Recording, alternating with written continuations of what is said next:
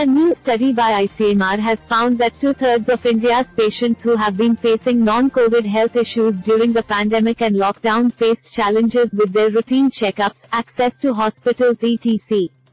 The findings have revealed that nearly two-thirds of participants encountered challenges with their routine investigation 69%, daycare procedures 67%, and reaching hospital 61%. Around half of the ICMR survey participants reported having trouble in getting doctor appointments 59%, emergency treatment 56%, access to the pharmacy 47%, and delay in healthcare 46%.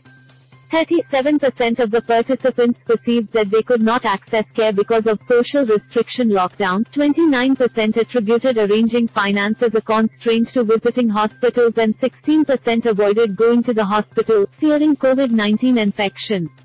The ICMR findings have further showed that people with chronic non-communicable diseases faced multiple challenges in accessing health care during the pandemic. This ICMR report has highlighted the problems with regard to access of healthcare due to the pandemic and lockdown.